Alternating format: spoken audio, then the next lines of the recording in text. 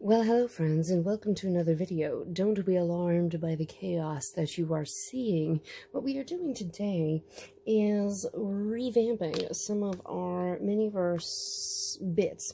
These are all the extra parts that I have laying around that won't be used specifically as a display.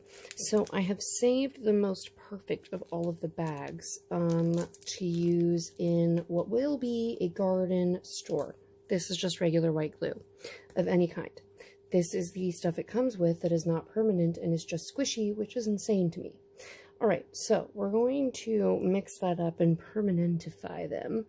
But I wanted to, uh, one, this will be going in my Calico Critter Display. I don't know that this rabbit will be the purveyor of said plants. However, she is going to be our stand-in participant as ever for the size. Okay, definitely going to need some more uh, based on how much glue I put in, and that is fine. Have plenty of dirt, as it were. Um, and then the extras of dirt you can use as display items. Already set mine aside because she will have to obviously have for sale all the different kinds of dirt that you might need for your plants. Now, whomever the plant purveyor will be in the uh, un, uh, as yet unbuilt universe, um, whomever that person will be, will also have all of the other miniverse plants that we have so far assembled, specifically in the succulent department. Uh, the house plants can be mixed up throughout with all of the calico people uh, in their homes. Um, but anyway, these are going to be mostly for sale plants. She already has whomever it is, not this rabbit, but whomever the purveyor is, they already have a, uh, th I think they called them an orangery in old old Britain, but it would be like a solarium or greenhouse now. Um, I bought the vintage one. It's like 1998, and it cost me well over a hundred dollars. It's it's fine. No one needs to know. Well, now they do, but no one needs to worry about my um, spending habits. It had to be the right scale. Uh, anyway, so the fancy pot ones are all going to be going into that display. So we need sale pots. Now, once you have white glue smushed all your dirts, you can see I did a trial run back here. Um, I just thought it would be fun. You have like, you know, you got all these bowls left over from the food ones that I just stole the ingredients out of to make, well, jello molds if you've been following along. Uh, this whole set was like 70 cents on AliExpress. I probably won't use any of them, as it turns out, uh, but they were only 70 cents, and you could definitely use them. Oop, see, another one stuck in there.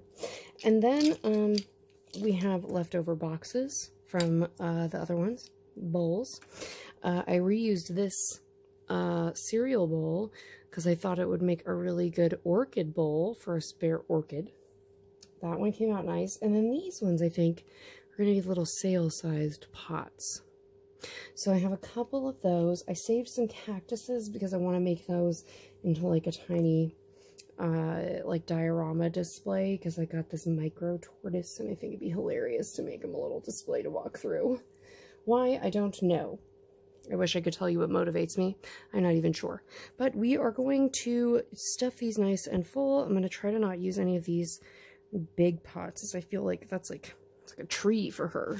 She can't possibly be toting that around. Also, if you buy things that are already terracotta, you don't have to paint them to look like terracotta because they are. So uh, no need to repaint those. Anyway, um, I'm going to probably speed through and just show you how everything looks at the end. So I will check back in a few minutes.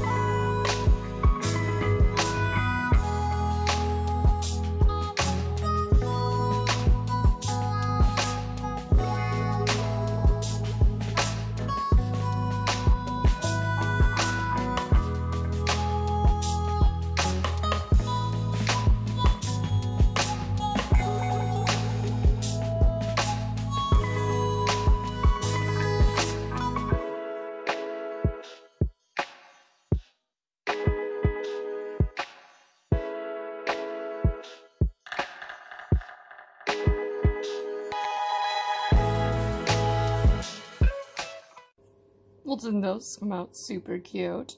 Love it. All right, so she has, not that she's the salesperson. I don't want you guys to get attached to the idea as though anyone's following this. I don't want you to attach the idea that she is going to be the succulent monger. Anyway, she's not, but there is going to be a booth with all of the plant care items. So we, I found this weird little pot in my Breyer Horse collection, and so now it is holding in a euphorbia looking good. All right, and then we also have all of our for sale echeverias and for sale aloes. And then we have done these that will be hanging in her uh, solarium greenhouse, call it what you will. We're going to have to put windows in it. I can't let it go with just open. It doesn't look right. And then this little one we've put into a dessert cup. I think it's kind of cute. Just sitting in there as a little dessert cup. And uh, don't be afraid to use tweezers to get rocks where you need them. And then this one, I think, was in a cereal bowl. I think I showed you that one already. Anyway, I just wanted to show you that there's a lot of fun ways to reuse your uh, Miniverse goodies and make them into other stuff that you might... Oh, sorry listing to listing to starboard there um, into other little things that might look cute in whatever kind of displays that you like to make. I hope this inspired you. If it did, throw down a like or a comment below, and I hope to see you in the next one. Bye!